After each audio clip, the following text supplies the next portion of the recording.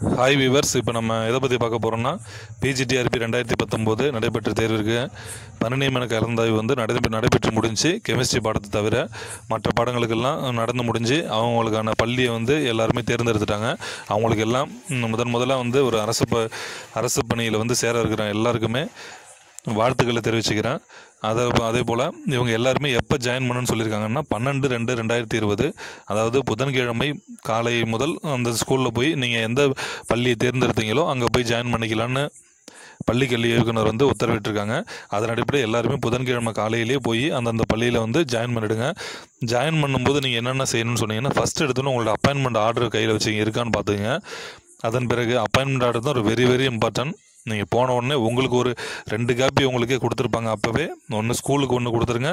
ஒன்று நீங்கள் எப்பயுமே நம்ம வந்து ஒரு எல்லாமே ஒரு ஃபைல் மெயின்டைன் பண்ணிவிட்டு நீங்கள் எல்லாமே ஒரிஜினல்ஸ் ஃபுல்லாக உங்கள்கிட்ட தான் இருக்கணும் சரிங்களா? ஒரிஜினல்ஸ் எல்லாம் எடுத்துகிட்டு போங்க எல்லாரோட சர்டிஃபிகேட்டோட ஒரிஜினலும் ஒரு சில ஸ்கூலுக்கு ஹெச்எம் வந்து வாங்கி வச்சுப்பாங்க பார்த்துட்டு தரேன்னு சொல்லிட்டு செக் பண்ணிட்டு தரேன்னு சொல்லிட்டு வாங்கி வச்சுப்பாங்க இல்லை ஒரு சில ஸ்கூலுக்கு வச்சம் வந்து அது கேட்க மாட்டோம் இருந்தாலும் நீங்கள் எல்லா ஒரிஜினலுமே அன்றைக்கும் எடுத்துகிட்டு போகணும். அப்பாயின்மெண்ட் ஆர்டர் இருக்கான்னு பார்த்துங்க. அப்பாயின்மெண்ட் ஆர்டர் தான் ரொம்ப ரொம்ப முக்கியமானது.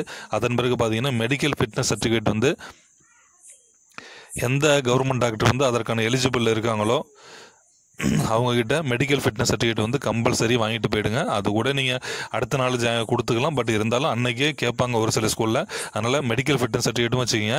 எஸ்ஆர் புக்கும் அன்னைக்கே வாங்கிட்டு போயிடுங்க. ஏன்னா நீங்கள் உங்களோட டீட்டெயில்ஸ் எல்லாம் ஒன்று ஒன்றா அப்போ தான் ஏற்றுவாங்க சரிங்களா இப்போ நீங்கள் எஸ்ஆர் புக்கு வந்து நீங்கள் ப்ரைவேட் ஸ்டோரில் எல்லாத்துலேயுமே கிடைக்கும். எஸ்ஆர் புக்குன்னு கேளுங்க. கொடுத்து நல்லா வாங்கி நல்ல புக்காக கொஞ்சம் பெருசாக நல்ல குவாலிட்டியாக வாங்கிட்டு போயிடுங்க. ஏன்னா அதில் தான் உங்களுடைய உங்கள் எல்லா சர்வீஸில் நீங்கள் என்னென்ன பண்ணுறீங்க எல்லாமே அதில் தான் எழுதுவாங்க. ஆன்லைன்லேயே ஏற்றுவாங்க அப்படிங்கும்போது நல்லா கொஞ்சம் குவாலிட்டியாக வாங்கிட்டு போயிடுங்க. Medical fitness certificate appointment order copy இது ரொம்ப ரொம்ப முக்கியமானது. இதெல்லாம் எடுத்துகிட்டு போயிட்டு காலையில் ஒன்பது முப்பது மணிக்குள்ளரே உங்கள் ஹெச்எம்மை பார்த்து எல்லாரும் ஸ்கூலில் ஜாயின் பண்ணிக்கிங்க. எல்லாருக்கும் வாழ்த்துக்கள். நன்றி.